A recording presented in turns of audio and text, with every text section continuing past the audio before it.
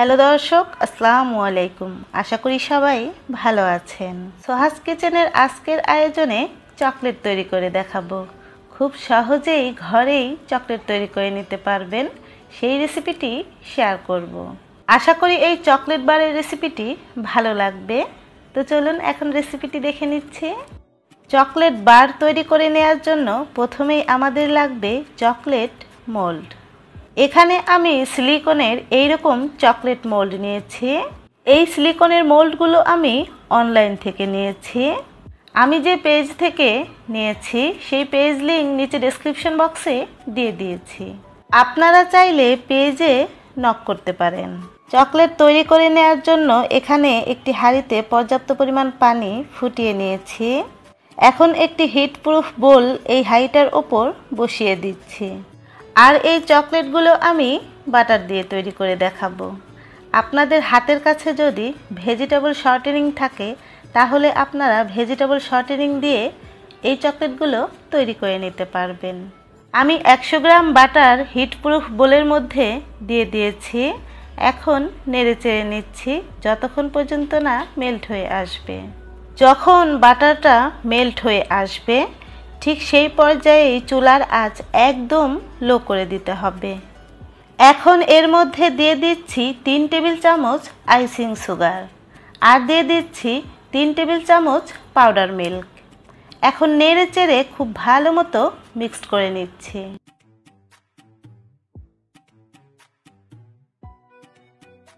যখন দেখবেন খুব ভালো মতো মিশে গিয়েছে ঠিক সেই পর্যায়ে দিয়ে দিচ্ছি এক টেবিল চামচ কোকো পাউডার।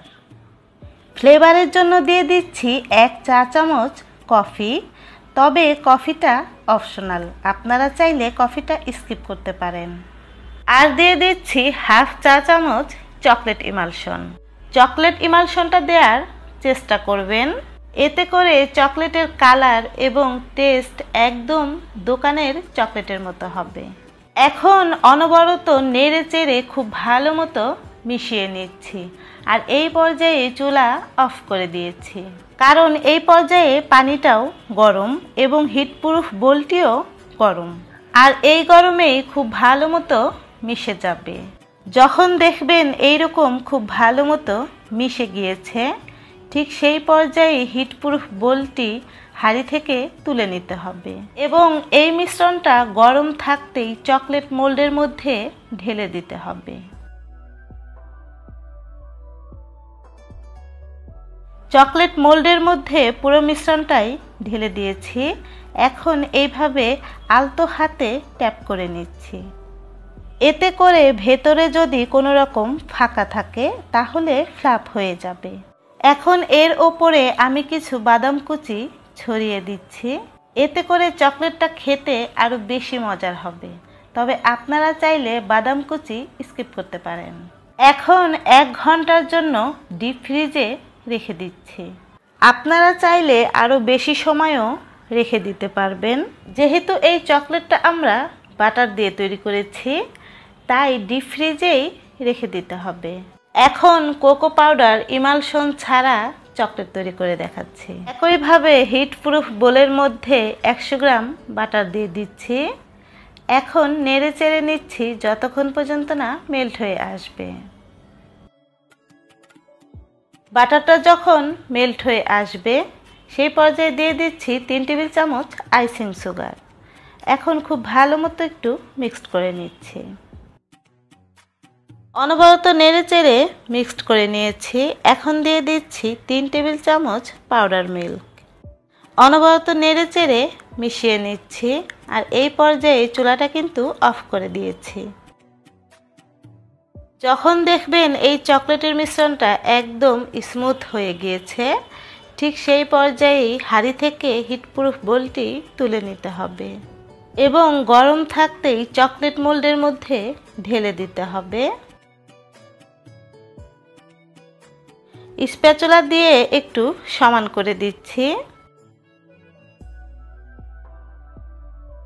এবং হালকা হাতে ট্যাপ করে নিচ্ছি। ডিপ ফ্রিজে এক ঘণ্টার জন্য রেখে দিচ্ছি। এক ঘণ্টা পর আমি কফি ফ্লেভারের চকলেটটা বের করে নিয়েছি। এখন আলতো হাতে মোল্ড থেকে ছাড়িয়ে নিচ্ছি। প্রিয় দর্শক, যারা এখনও চ্যানেলটি সাবস্ক্রাইব করেননি, প্লিজ চ্যানেলটি সাবস্ক্রাইব করে পাশে থাকা বেল বাটনটি বাজিয়ে রাখবেন। আর যারা চ্যানেলটি সাবস্ক্রাইব করেছেন, তাদেরকে তো অসংখ্য ধন্যবাদ। এই ঘরে তৈরি চকলেটটা আমি ডিপ ফ্রিজে সংরক্ষণ করে রেখে দেই। কারণ এই চকলেটটা ফ্রিজের নর্মাল কোশনে রেখে দিলে চকলেটটা হালকা নরম থাকে। তাই আমি ডিপ ফ্রিজে রেখে দিই। এবং সার্ভ করে নেওয়ার দশ মিনিট আগে ডিপ ফ্রিজ থেকে বের করে রেখে দিই। তবে আপনারা চাইলে ফ্রিজের নর্মাল কোশনেও রেখে দিতে পারবেন। সেক্ষেত্রে চকলেটটা হালকা একটু নরম থাকবে।